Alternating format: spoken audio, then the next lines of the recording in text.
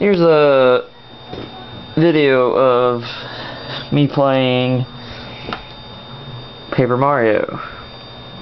You know I suck at it because I'm trying to play and do this at the same time. Freaking sucks.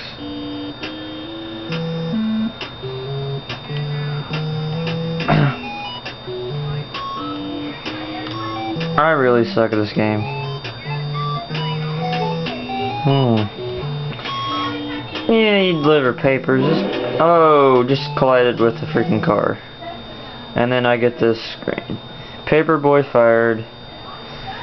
Too bad. I ran into a car. Oh well.